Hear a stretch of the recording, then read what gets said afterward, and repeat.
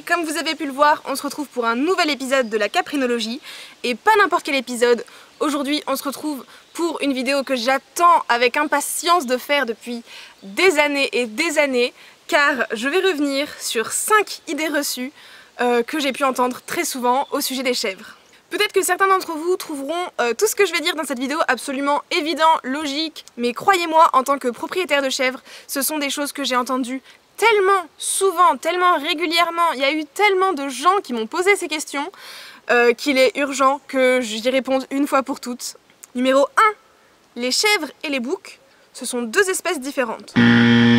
En fait, chèvre et bouc, c'est la même chose. La seule différence, c'est que les chèvres, c'est les femelles, et les boucs, c'est les mâles. Maintenant, en général, on réfère à l'espèce de façon générale en tant que chèvre, donc personnellement, je dis toujours que j'ai deux chèvres. Même si en vérité, j'ai une chèvre et un bouc, puisque Morito est un garçon. Et d'ailleurs, je vous propose aussi un petit bonus hors chèvre, parce que je sais que celui-là aussi, il fait beaucoup parler. Euh, mais le mouton, la brebis, le bélier et l'agneau, euh, tout ça c'est la même espèce également. Euh, le mouton c'est le nom de l'espèce de façon générale, le bélier c'est le mâle, la brebis c'est la femelle et l'agneau c'est le bébé. Pour en revenir aux chèvres et aux boucs, je sais qu'avec les miens il y a un détail notamment qui peut beaucoup choquer les gens, c'est le fait que Clochette ait une barbichette et que Morito n'en ait pas.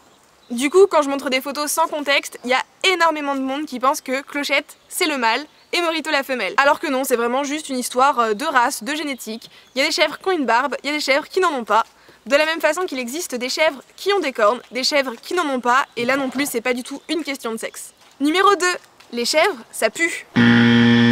En fait, il n'y a que les boucs entiers, donc non castrés, qui vont vraiment euh, sentir très fort, avoir cette odeur euh, très caractéristique, et ce pour deux raisons.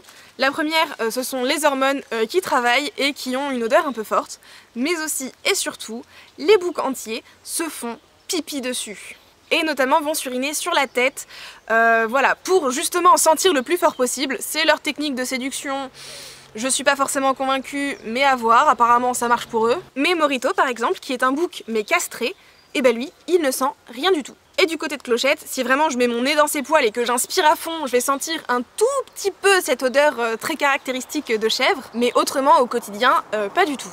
Troisième idée reçue, les chèvres c'est méchant, c'est fondamentalement mauvais, et particulièrement si on les touche entre les cornes, elles peuvent devenir vraiment très agressives. C'est faux, c'est faux et c'est faux. Tout d'abord, si je devais résumer la personnalité des chèvres en un seul mot, en faisant vraiment une grosse généralité euh, sur l'espèce, je dirais que les chèvres, c'est joueurs avant tout. Euh, voilà, les chèvres c'est vraiment super coquin, c'est super joueur. Parfois leurs jeux peuvent être assez impressionnants, surtout entre elles parce qu'elles aiment bien euh, se cogner les cornes ensemble. Mais tout ça c'est vraiment juste du jeu. Et au final à la maison vous voyez même Morito avec qui euh, ça peut encore être compliqué, Morito qui va pouvoir charger, qui va pouvoir se faire très impressionnant parfois. Et bien en fait tout ça c'est juste du jeu. Il n'y a pas une once de méchanceté lorsqu'il se comporte comme ça, c'est juste qu'il veut jouer avec moi et qu'il ne comprend pas pourquoi est-ce que je ne peux pas lui répondre de la même façon que Clochette lui répond quand il lui fait des appels de jeu de cette façon.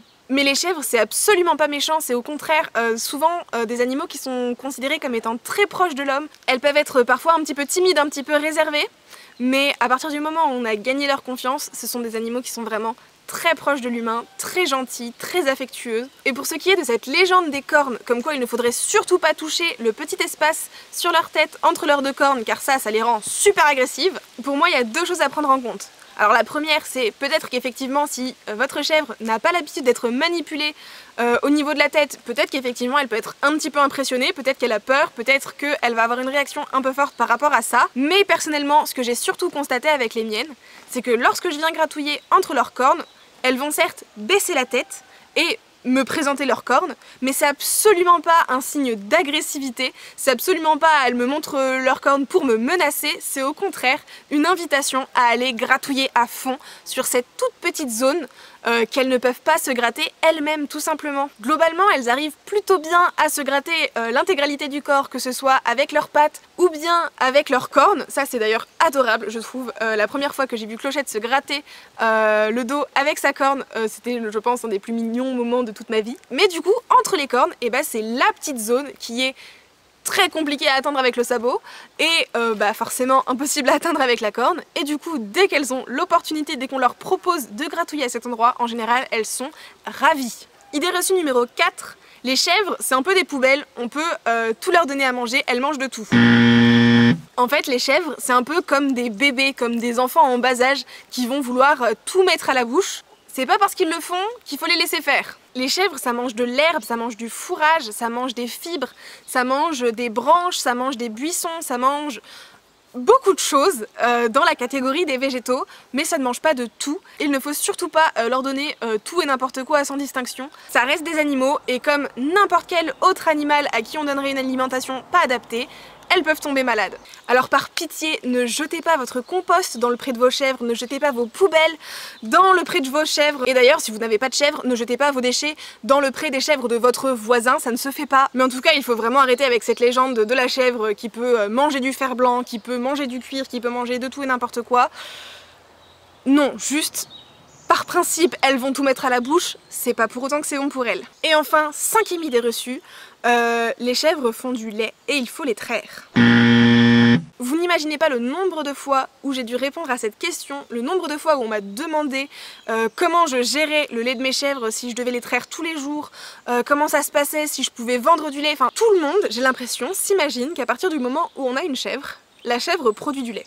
Alors qu'en fait, une chèvre, ça ne fait pas du lait parce que c'est un robinet à lait et que tous les jours il faut aller se servir un petit verre. Non, ça marche pas comme ça. La seule raison pour laquelle ça fait du lait, c'est parce que c'est un mammifère. Et donc, comme n'importe quel mammifère, à partir du moment où une chèvre a un bébé, eh ben, elle va produire du lait pour nourrir son bébé. Tout comme euh, les juments font du lait pour nourrir leur poulain, tout comme les chiennes font du lait pour nourrir euh, leur bébé chiot, et tout comme les mamans humaines euh, vont faire du lait pour nourrir leur bébé.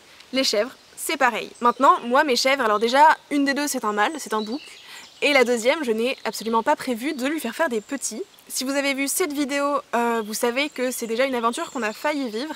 Et donc à ce moment-là, oui, euh, les mamelles de Clochette ont gonflé, elle avait du lait, mais avant ça, elle n'avait pas de petits, elle n'avait donc pas de lait, et après ça, eh ben, elle n'avait pas de lait non plus, puisqu'il n'y avait pas de petits, pour téter, et donc stimuler la lactation, et euh, faire comprendre au corps finalement qu'il euh, y a besoin de continuer à produire du lait. Maintenant je sais qu'il va y avoir des gens en commentaire qui vont s'offusquer et me dire « Eh oui mais moi je connais une chèvre, elle a pas eu de bébé depuis longtemps et elle fait toujours du lait. Ah mais moi je connais une chèvre euh, qui n'a jamais eu de bébé de sa vie, pourtant elle a toujours fait un petit peu de lait. » Je suis pas en train de vous dire que c'est impossible, dans le sens où euh, déjà à partir du moment où elle a eu un petit, oui effectivement si on continue de stimuler la lactation et donc de traire sa chèvre, effectivement c'est possible qu'elle continue de faire du lait, donc elle va en faire peut-être moins que euh, à la naissance du bébé, mais elle peut quand même en faire un peu. De façon générale, je n'oublie pas que les chèvres, ce sont quand même des animaux qui ont été essentiellement euh, élevés pour ça, pour la production laitière. Et à cause de ça je pense vraiment que euh, dans l'élevage de chèvres on les a vraiment sélectionnés pour avoir des individus qui vont produire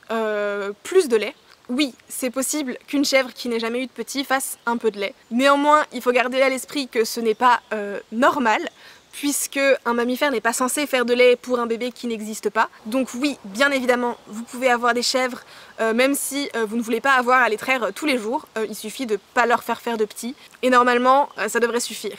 Mais c'est vrai que moi, ça reste quelque chose qui me fait toujours un peu de peine de me dire que dans l'inconscient collectif, euh, les chèvres font du lait parce que ce sont des chèvres et que c'est ce qu'elles font dans la vie.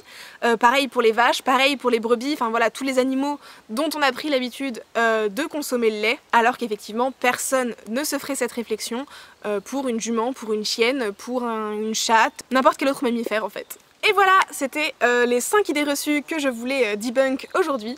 J'espère que cette vidéo vous a plu.